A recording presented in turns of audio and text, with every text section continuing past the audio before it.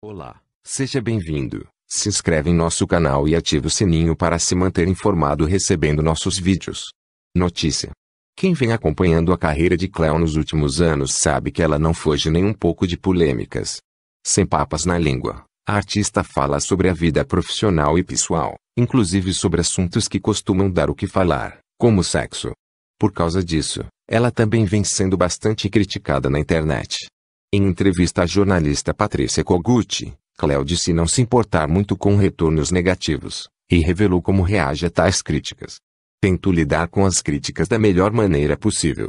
Quando são construtivas, busco entender, mas, quando são ofensivas, geralmente deixo para lá. Acredito que as pessoas devem ter a liberdade de postar o que quiserem, mas desde que a postagem delas não ofenda outras pessoas gratuitamente.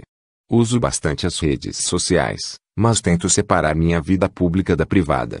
Procuro sempre fazer isso sem deixar de ser a Cleo, disse.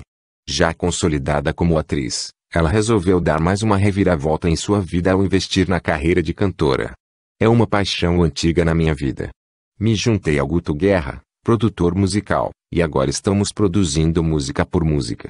Durante esse processo, pegamos algumas composições que eu já havia escrito e compus novas canções. A ideia é deixar o projeto fluir. Não quero me limitar a um único estilo, contou na entrevista. Cleo ainda contou que não tem planos de voltar à TV no momento. Música e cinema são duas paixões minhas e estou me dedicando a elas ao máximo no momento. Quero poder fazer tudo o que amo e que me faz bem. Desde sempre cuidei e tratei de tudo muito de perto. Porém, agora, sem um empresário exclusivo cuidando dos meus interesses, consigo organizar as coisas de uma maneira mais ágil e implementar minha personalidade aos projetos. Estou apta a isso, disse. Para saber mais sobre o mundo dos famosos, o BBB e outros se inscreve em nosso canal para receber nossos vídeos.